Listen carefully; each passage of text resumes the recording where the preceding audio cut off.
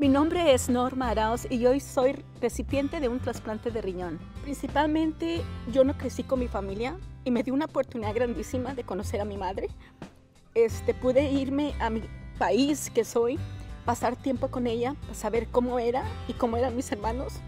So, eso me ha sido algo increíble, una bendición grandísima. Tengo más energía, trabajo más, y he puesto a la vida porque me estaba acabando en, en, la máquina, porque el diálisis te acaba poco a poco y yo ya estaba en el punto que estaba muy, muy, muy, muy acabada. Me veía como de 80 años y apenas tengo 50.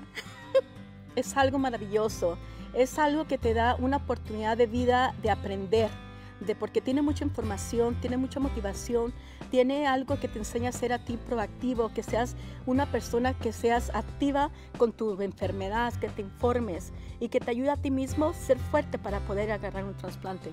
En nuestra comunidad eh, latina tenemos muchos mitos, tenemos muchos mitos en ser donantes. Y este, esos mitos hay que dejarlos atrás porque no, no es así como funciona para ser un donante. Este, cuando alguien fallece, no le, no le van a sacar los órganos. Tienen que ser un doctor que le diga que tiene una muerte cerebral principalmente para que sea un donante. Entonces, por favor, donen, porque pueden salvar a otras familias, pueden salvar a un hijo de alguien, un nieto de alguien. No tengan miedo de ser donantes.